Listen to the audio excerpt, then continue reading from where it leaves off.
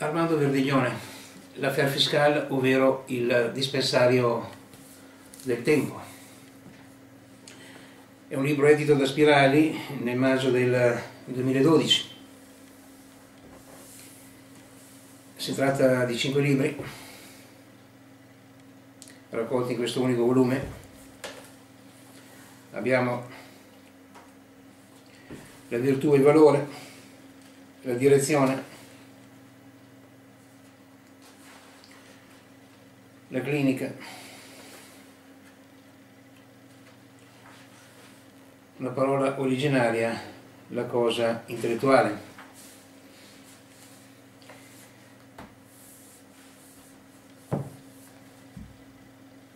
È una risposta non realistica alla, alla verifica fiscale che è in atto da più di tre anni, da quattro anni adesso circa, L'avvertenza editoriale dice che queste lezioni, non rilette dall'autore, sono state tenute in tre anni di inquisizione, sotto il pretesto fiscale, l'inquisizione continua.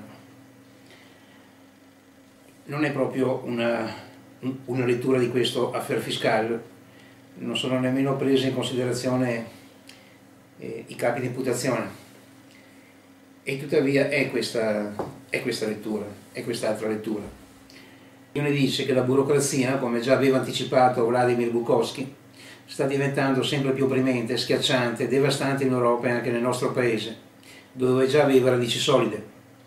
La burocrazia nel nostro paese ha un'idea, la sua idea, un fantasma, un'idea che agisce anziché operare.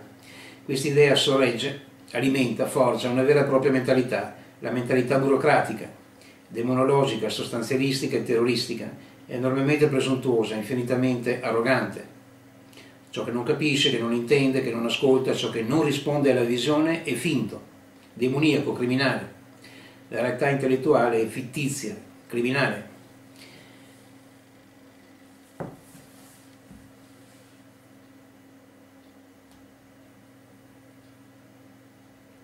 Qui la burocrazia è, è più letta, è più descritta eh, che analizzata, il, pare quasi una, una, una mentalità agente, eh, nel senso che riuscirebbe laddove eh, eh, l'inconscio mette invece sempre in scacco qualsiasi tentativo oh, di padronanza e di controllo sulla vita. Certamente possiamo dire che eh, la vita nel pianeta segue questa questa china, no? non è la, la, direzione intellettuale, la direzione del pianeta, ma questa assenza di direzione intellettuale, questo smarrimento dato dalla, dalla, dalla conflittologia, dalla, dalla, guerra dei ceti, delle caste, eh, delle classi, eh, dei gruppi, dei clan, delle bande eh, e quant'altro. L'affaire fiscale è l'analisi eh, di eh, di queste questioni. In questo caso, essendo oh, sotto inquisizione, non c'è l'analisi che vada alla, al cuore di questa mentalità, perché eh, questo, questo governo degli uffici, la burocrazia appunto, e, e sarebbe una macchina che funziona da sola. Questa lettura, una macchina persecutrice, questa lettura è, è stata fatta eh, in un modo eh, insostituibile e impagabile eh, da Pierre Legendre, tra l'altro in un libro, poi in più libri, ma in un libro che è stato tradotto in italiano eh, dall'equipe mi pare, di, di, Armando Veglione allora. Si tratta di Godere del potere, Jouir du pouvoir, eh, di Pierre Legendre. Questa eh, burocrazia si sostiene con lo stesso apparato mitologico eh, che Legendre chiama con la maiuscola il testo il, uh, ed è eh, lo stesso testo che sta uh, nell'armata, che sta nella chiesa e che sta nell'ufficio. E l'ufficio è tra i due. Tra l'altro la burocrazia appunto c'è militare, c'è religiosa e c'è eh, di Stato. Questo sarebbe un aspetto della uh, burocrazia di Stato. Accenniamo appena questo, ma in realtà uh, quest'opera ha implicazioni enormi ed è interessantissima e non ha uguali in questa, in, non solo in questa epoca, ma anche, ma anche nelle altre epoche. E, ma accenniamo appena alla questione che ha dato oh, il pretesto di titolo, no? l'affaire fiscale. E, un bellissimo titolo poteva essere che è contenuto in queste conferenze ipotesi di luce, ipotesi di ascolto, ipotesi di, ipotesi di intendimento. L'affaire fiscale sembra un libro tra la politica e il fiscalismo è, un libro da, da vedere nelle, nelle, librerie che si occupano di diritto, e, di diritto mm, prettamente commerciale.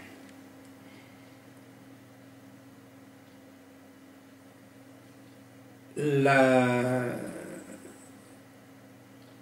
questa, questa struttura burocratica non è indagata rispetto all'armata, agli eserciti, non è indagata rispetto alle chiese. gli eserciti e le chiese eh, sono di tutto rispetto.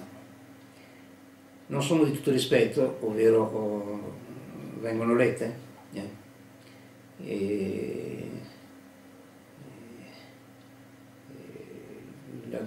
la dissidenza politica, per esempio, viene letta la, la, la,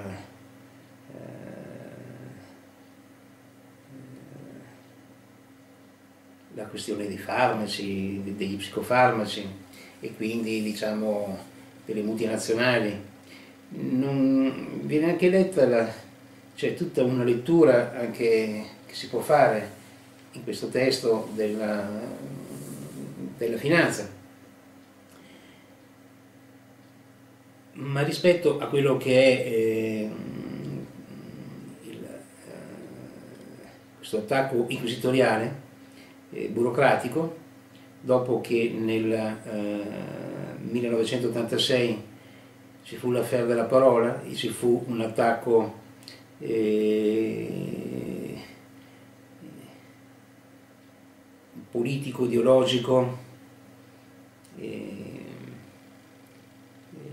pseudo intellettuale, in realtà ancora una volta eh, si tratta di eh, eh, battaglie per il potere. Battaglie per il potere che sono fatte anche nei confronti di chi non, non, non ha come fine il potere.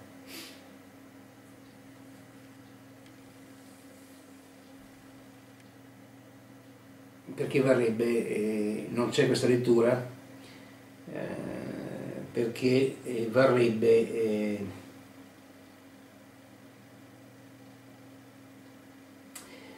sarebbe come aprire una guerra su più fronti e quindi perderla.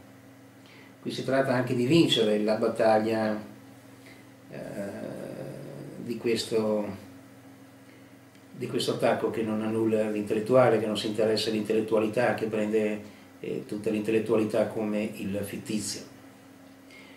Ma non era di questo aspetto che contavo eh, di accennare in questo libro che eh, ho già letto due volte e, e richiede infinite letture.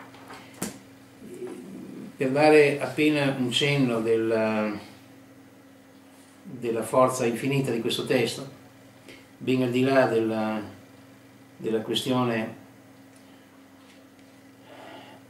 alla quale pare rispondere no? all'attacco, all fiscale.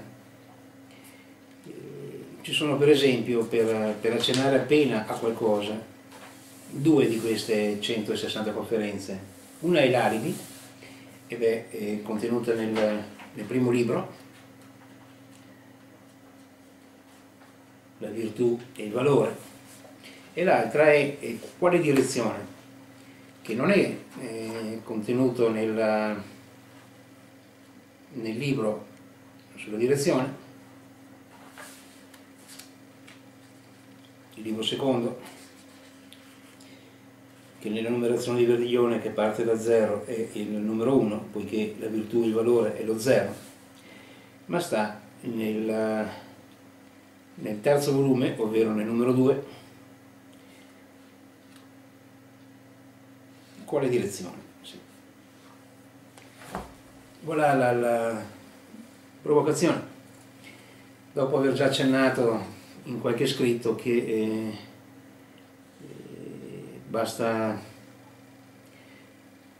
basta diventare un esegeta eh, del Genesi, del primo libro della Bibbia, di Bereshit, e, e e leggere le varie letture che sono state date eh, di questo libro originario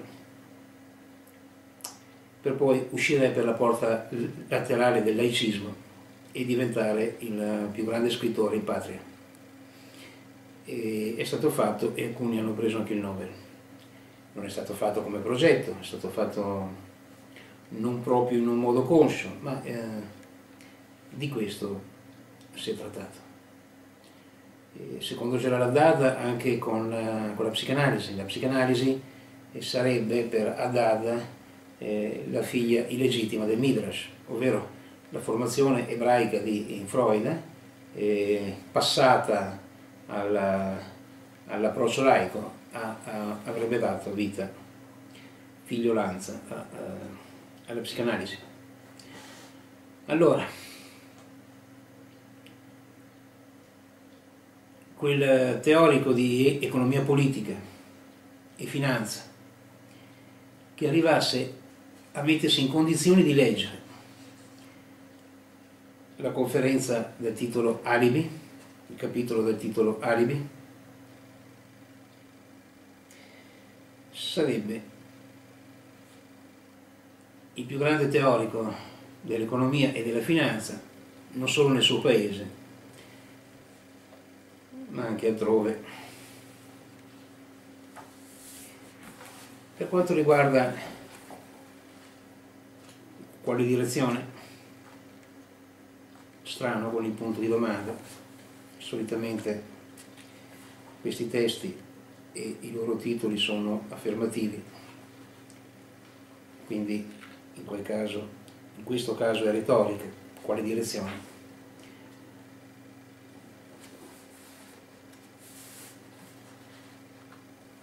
Una, un testo che abbiamo già letto perché era stato pubblicato, uno dei, dei rari testi pubblicati nella rivista La Ciframatica diretta appunto da Armando Verdiglione.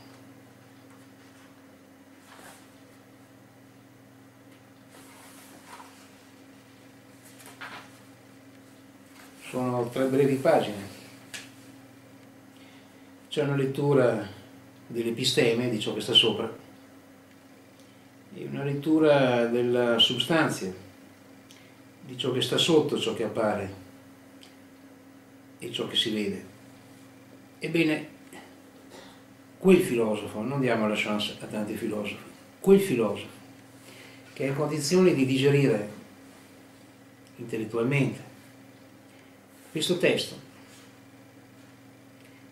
diventa il più importante filosofo della sua nazione e non solo. Ovvero ci sono delle, delle acquisizioni, dei risultati che chissà quando verranno acquisiti dal dibattito che è, è, è quasi sempre pseudo dibattito e si trastulla con questioni feticcio. L'economia politica, per esempio, è una questione feticcio se applicata a Niccolò Machiavelli, che non era filosofo e che non è un filosofo della politica. È l'inventore della politica come arte e questa è una proposta di Verdiglione. È un libro sull'apertura e non sul discorso comune, esteso anche nell'università e, e altrove che sarebbe il discorso dell'uno che torna all'uno, passando per l'uno. Questo è anche il primo dei post-filosofi Heidegger, ma era anche l'ultimo dei filosofi, Nietzsche. È un libro sul tempo, ben oltre a quella che è stata pur interessantissima la logica del tempo che c'è in quello che è stato maestro, eh, volente o nolente, di Armando Verdiglione, ovvero eh, Jacques Lacan. È un libro che non si può recensire, è un libro che eh, data la, la, la presa che il sistema di credenze ha su ognuno, no? metà degli italiani da quando hanno terminato la scuola hanno smesso di leggere, non leggono più nessun libro. E questo è un invito alla lettura, ne va, ne va proprio della vita. È un libro essenziale, un libro inaggirabile, un libro ricchissimo, da quale ne seguiranno altri ancora. Non si fermerà qui, non si fermerà per un'inquisizione fiscale.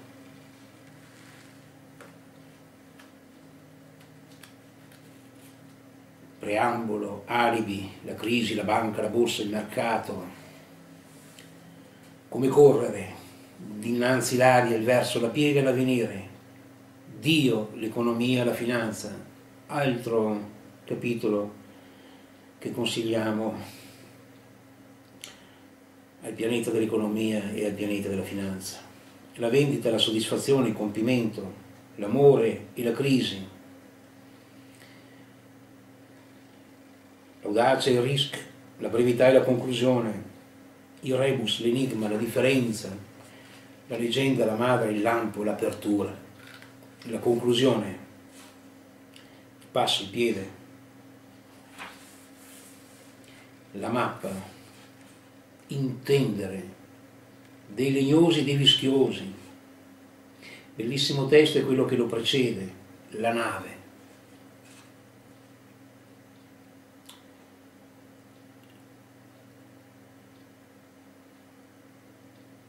concludo così, che pur non essendo a bordo sono in viaggio con questa nave. Voilà, appena un accenno. Armando Verdiglione, l'affaire fiscale, ovvero il dispensario del tempo, edito da Spirali.